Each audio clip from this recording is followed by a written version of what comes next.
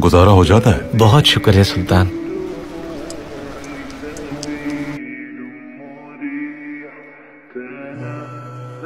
मेरी बीवी इस बर्तन में बारिश का पानी जमा कर लेती है और इससे कपड़े धो लेती है।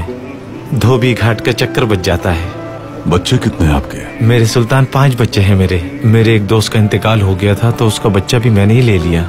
वो भी मेरी ज़िम्मेदारी है। ईसा अफंदी का नाम। रेलवे मंसूबे के लिए अतिया देने वालों में शामिल है। ईसा अफंदी जब रेलवे मंसूबा मुकम्मल हो जाएगा तो आप सब लोगों को हज पर भेजा जाएगा। सुल्तान मौजम मेरा अतिया तो सिर्फ़ मेरी एक दिन की कमाई है। क्या हज के लिए काफ़ी होगी ये रकम? हज पर जाने के लिए आपका खुलूस काफ़ी है। एक किस्सा सुनाता हूँ मैं। मेरे जद फातेह सुल्तान महमद खान ने फातेह मस्जिद की तामीर करने वाले तमाम मजदूरों से कहा कि ये मेरी दिली ख्वाहिश है। कि ये मस्जिद मेरे जाती खजाने से तामीर हो। इसके लिए किसी से भी कोई इमदाद ना ली जाए। मौसम गर्मा था। मजदूर थकन से चूर थे और प्यास से भी बेहाल हो रहे थे। एक खातून दही से भरा हुआ एक बर्तन लेकर आई।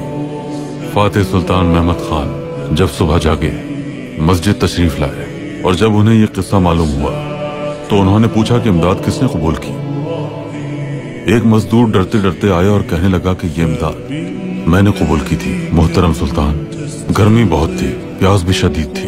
इतने में एक खातून दही से भरा हुआ प्याला ले आई तो मैंने लेकर खा लिया। कहने लगे कि बेटा रात मैंने एक अजीब ख्वाब देखा। एक नेकियों का तराजू था। उसके एक पलड़े में फातेह मस्जिद रखी थी और दूसरे में वो दही का बर्तन और दोनों का वज़न बराबर था। कितनी प्यारी बात है।